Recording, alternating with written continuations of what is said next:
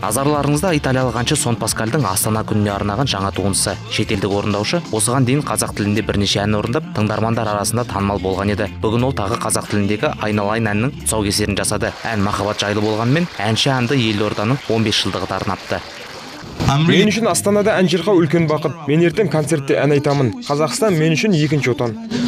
Жазушы мақсат мәлікұлы астана туралы ән шырқау әншілер арасындағы науқаншылыққа айналып кетті деп есептейді. Айтуынша астанаға арналған әндерден мән кеткен. Сондықтан да көрермендердің ыстық ықыласына бөлене бермейді. Ал сырттан келіп қазақ тілінде ән шырқағандардың көздегені материалдық мүдде ғана.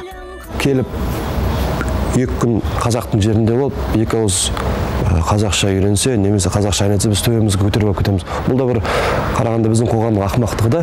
Ол тұрмақ ә, бізде мәселен бір өзге ұлт өкілі қазақша сөйлесе ә, немесе қазақша білсе ә, соған қуанамыз да қуанып оны әлпештейміз оны жаңағыдай бір орындарға қоямыз. Үнемі бір түрлі басқосулар соларды алға шығарамыз да. Негізі заң бойынша қарасаң ол міндеті да өйткені қазақстанда тұрады. Жүрегі ау тірегі мәңгі елбасы ақын тоқтарәлі таңжарық әншілер астана жайлы әндерді мемлекеттің тапсырысымен жазады деп есептейді. Айтуынша елорда туралы жазылған әндердің басым бөлігі байқау шарттарымен дүниеге келеді екен.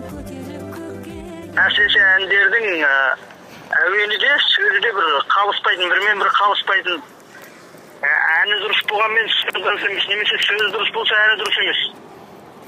Екеуін әйтеуір зорлықпен ұйқастырып зорлықпен әуен шығаратындай бір деңгейде болған секілді өйткені конкурстар көп байқаулар көп бірақ соның өзі бір дұрыс үйлеспей жатқан секілді тарихқа көз жүгіртсек науқаншылықпен жазылған әндердің ғұмыры қысқа болады. Мұның дәлелі кеңес одағы мен күн көсеміне арналған әндердің тарих қойнауына енуі.